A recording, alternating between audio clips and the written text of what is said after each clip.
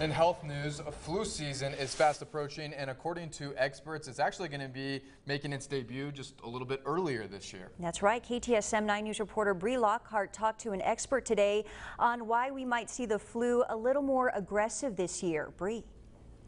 According to Oscar Vega, the chief medical officer at Las Palmas, he expects the flu to come earlier this year, meaning El Pasoans should get vaccinated starting late September, and he recommends everyone be vaccinated for the flu by October. Vega says we are starting to put COVID in the past and more people will become exposed to the flu this year more than they have in the past two years. This is because we have been more isolated, but now people are gathering again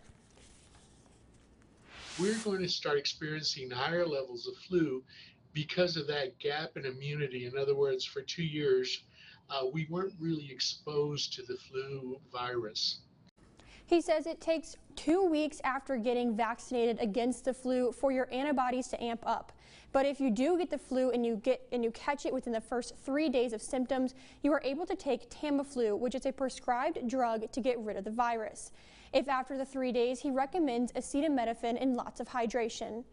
According to Vega, the best way to prevent getting the flu is to eat right, sleep seven to eight hours each night, exercise, and get outside for vitamin D. And of course, get vaccinated. Reporting in the studio, Bree Lockhart, KTSM 9 News.